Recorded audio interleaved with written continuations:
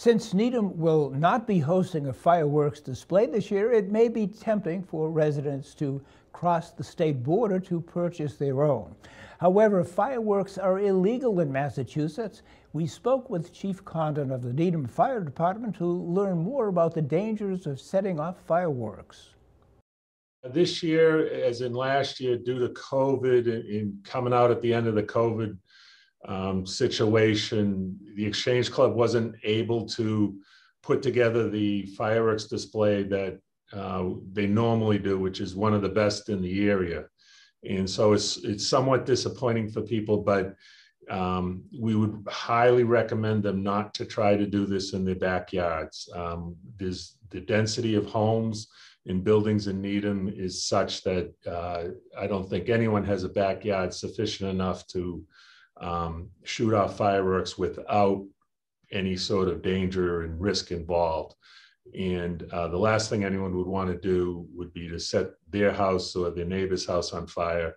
And certainly nobody wants to be injured. So it's best to leave this to uh, people who are professionally trained and understand all the risks involved and how to mitigate those risks. And um, so if you have to go to another town or, or into the Esplanade or someplace where they might be doing it um, this year, then then so be it. And hopefully next year we come back to Needham the Exchange Club puts it on and they do a terrific job putting on the fireworks display in town. Fireworks, it's metal salts that explode, make a noise, and burn.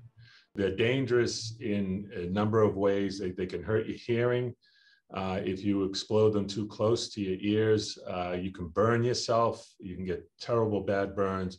And uh, if the explosion is powerful enough, you, you can uh, dismember your body.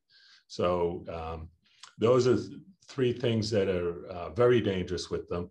Uh, further than that, they um, shoot up in the ear quite often, depending on what you're uh, doing fireworks, some explosions are just at the um, uh, firecrackers, I should say, or some of the explosive uh, fireworks are just at the area where they are ignited, but others shoot off into the air and uh, wind currents and everything can uh, take those into areas where they could start a fire as well.